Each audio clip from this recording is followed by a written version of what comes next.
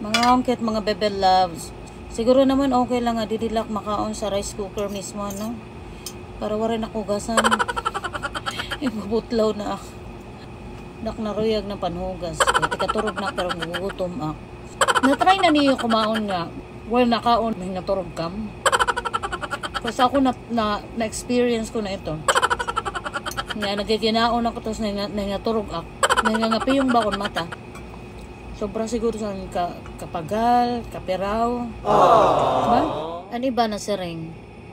Ayoko no pagkaon gabi na kay maraot. Bangin ko no bangunguton ka. Totoo ba ito? Hmm. Kung suga di rin nalak sin makaturo kay busog man ak. Maagahan aklat sin eh. Ay, pastilan.